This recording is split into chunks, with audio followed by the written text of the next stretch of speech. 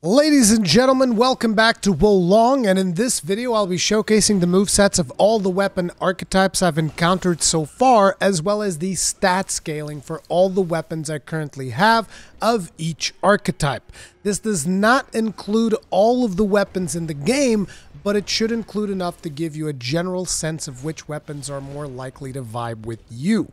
A couple of caveats here are some of the weapons I currently have drop with upgrades already on them, so they're going to be plus 2 or plus 3, which means that their stat scaling is going to look better than their unupgraded counterparts. You're still going to be able to identify their primary and secondary scaling stats, so hopefully it'll still be helpful.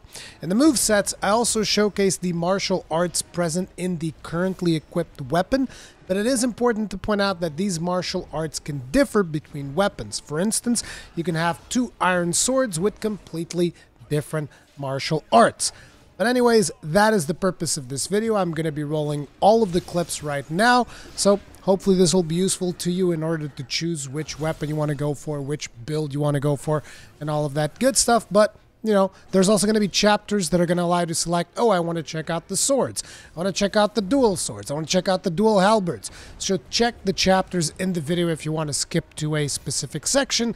And let me know which of the weapons looks the most appetizing, which of the weapon archetypes looks the most appetizing for you in the comment section down below. Thank you very much for watching and roll the clips.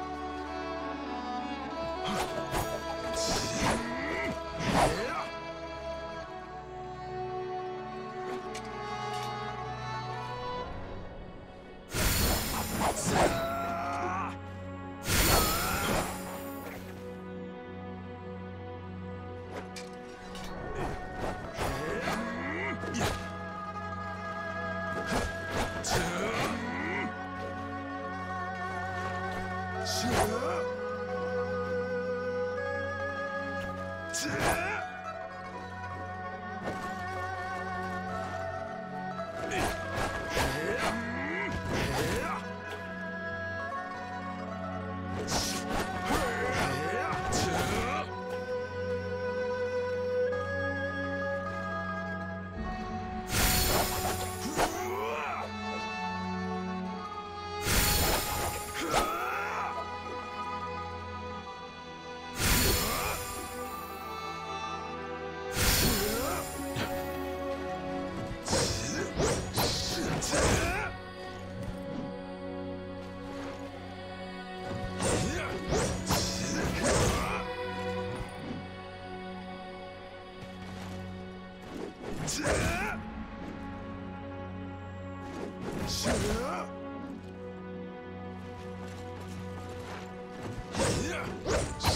Yes!